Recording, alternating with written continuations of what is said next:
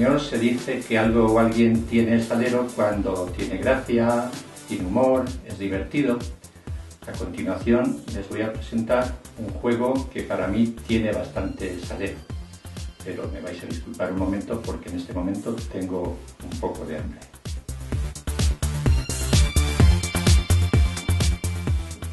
Con ustedes el efecto.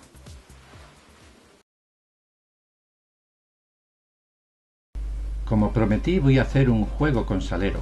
Para ello necesitamos sal mágica y tres cartas. Recogemos las cartas, se las mostramos, aquí las tenéis. Tenemos que fijarnos sobre todo en la figura. No nos importa el 2 de espadas, sí la sota de bastos, tampoco el 5 de oros. Bien, lo importante es que nos concentremos en la figura colocamos las tres cartas y derrochamos la sal mágica por encima de las tres. Bien rociadas. Ahora atención a las cartas. Vamos a ver dónde creéis que está la figura aquí. Claro aquí no está. En el otro lado es evidente. Luego tendréis que haber acertado. Efectivamente la figura y además una chica con buena figura está en la carta central las cartas son totalmente examinables.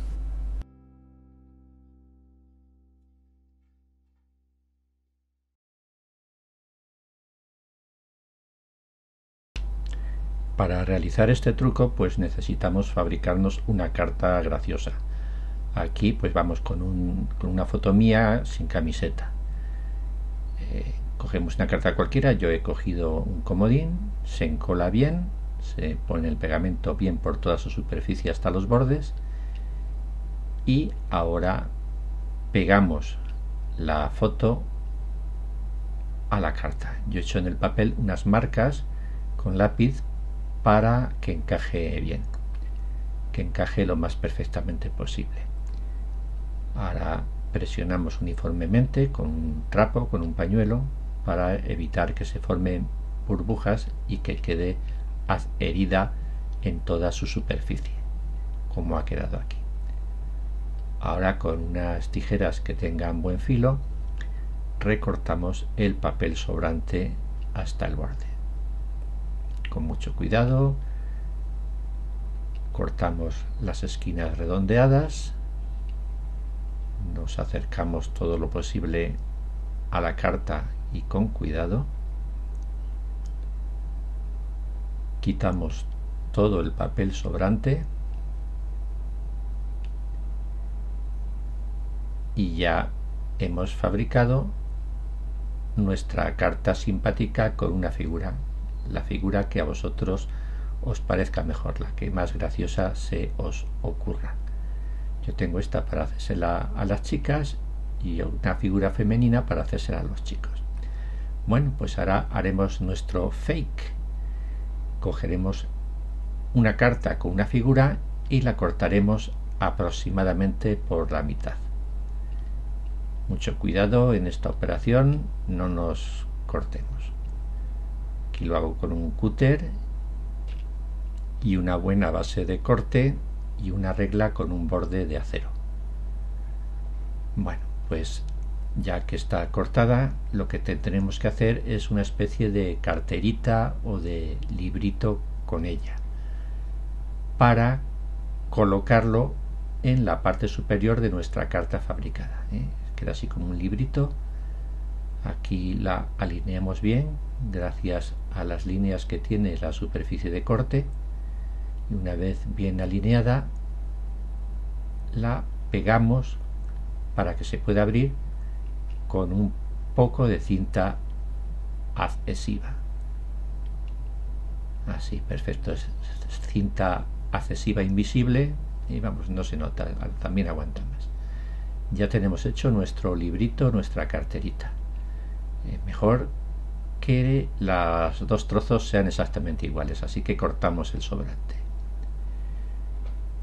Ahora este fake lo llamo fake porque simula ser una carta y va a estar a la vista, lo colocamos así en la parte superior de nuestra carta, igualándolo bien. Eso se abre como un librito y se coloca así en la parte superior.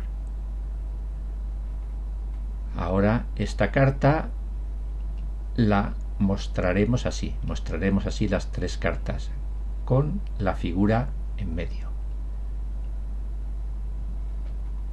Decimos al público que se fijen en la figura del medio, cerramos las cartas, las cogemos así con nuestra mano y las depositamos. Al depositarlas nos quedaremos y empalmaremos el fake.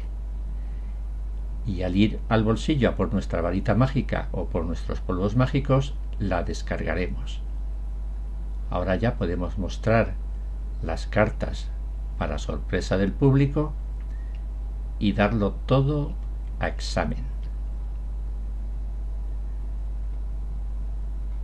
Las cartas son perfectamente normales.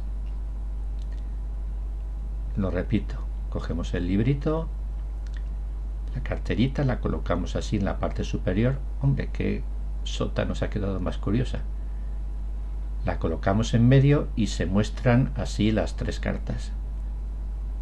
Decimos que se fijen en la figura, cerramos las cartas, las depositamos encima de la mesa y nos quedamos con el fake dentro de la mano.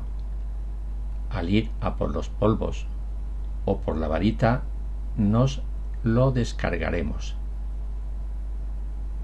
Hacemos los pases mágicos y ya está realizado el truco, que es bastante efectivo y provoca unas cuantas risas, os lo puedo asegurar.